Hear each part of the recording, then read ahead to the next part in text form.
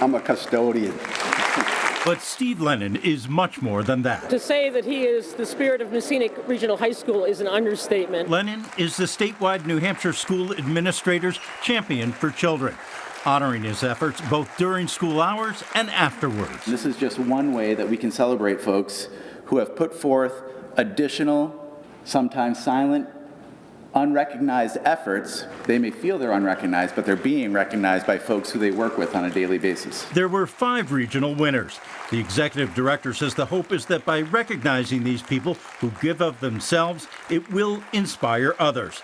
And of this year's winner, What I give out, I get back tenfold. his superintendent says Lennon's contributions go far beyond maintenance. It's that maybe I just today I need to have that con- positive conversation with an adult, a positive male role model, and Steve is just all of that. Lennon says he gets far more from the high school than he gives. One thing he tries to do is to learn every student's name in the school. When you see a child and you can say hi and get their name, you make a connection. But in both ways. If he has a word of advice for others, Steve says it can be just the simple things, like the saying hello, that can make all the difference in a kid's life. In Concord, Ray Brewer, WMUR News 9.